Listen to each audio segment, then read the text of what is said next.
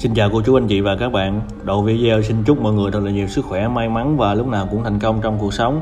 Hôm nay xin giới thiệu với uh, mọi người một căn nhà mặt tiền số ờ, uh, 143 Lê Quang Định, phường 14, quận Bình Thạnh uh, đang có nhu cầu bán. Uh, đây là căn nhà màu trắng uh, này thưa cô chú anh chị và các bạn.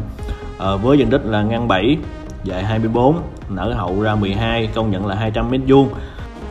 Và với cái cấu là một hầm à, một lửng ba lầu sân thượng. À, vị trí rất là đẹp. À, hiện đang cho thuê là 90 triệu một tháng hợp đồng còn 3 năm. À, giấy tờ cá nhân đứng tên không thế chấp hay là cầm cố ngân hàng. Thì giá chủ đang chào là à, 52,5 tỷ. Còn thương lượng cô chú anh chị nào quan tâm đang tìm kiếm khu vực này à, thì có thể tham khảo à, thêm căn này.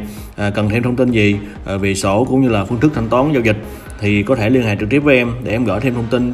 À, rất cảm ơn cô chú anh chị đã xem video. Xin chào và hẹn gặp lại ở những căn nhà kế tiếp. Xin chào.